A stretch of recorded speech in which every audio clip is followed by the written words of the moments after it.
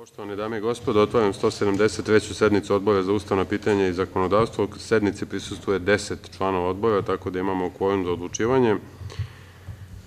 Za današnju sednicu predlažem sledeći dnevni red, to jest jednu tačku dnevnog reda, razmatranje predloga za donošenje autentičnog tumačenja odredbe člana 142. Zakona o javnom informisanju i medijima, koji je podnela narodni poslanik Aleksandra Tomić.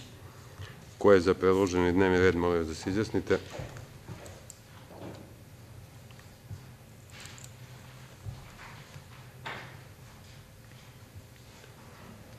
Zaključujem glasanje. Za 11, glasalo 11, ukupno 11. Konstatujem da je Odbor jednoglasno prihvatio predloženi dnevni red.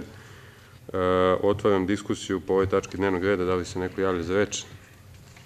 Ukoliko se niko ne javlja za reč, zaključujem diskusiju i pitam članove Odbora ko je za to da Odbor oceni da je opravdan predlog za donošenje autentičnog tumačenja odredbi člana 142. Zakona o javnom informisanju i medijima, koji je podnela narodni poslanik Aleksandra Tomić i da Odbor dostavi Narodnoj skupštini predlog autentičnog tumačenja navedenih odredbi.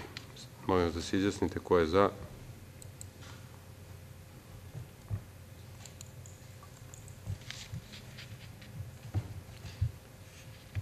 Zaključujem glasanje.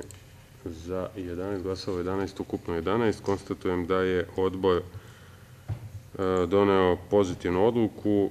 Budući da smo završili sa tačkom dnevnog reda, zaključujem 173. sednicu i zahvaljujem se svima na učešću i radu.